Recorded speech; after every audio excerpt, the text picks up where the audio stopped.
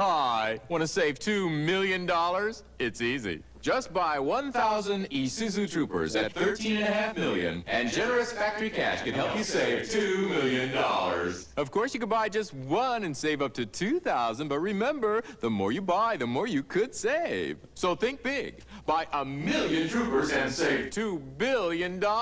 You have my word on it. Now, Isuzu's sale into the 90s factory cash could save you up to $2,000 on a Trooper.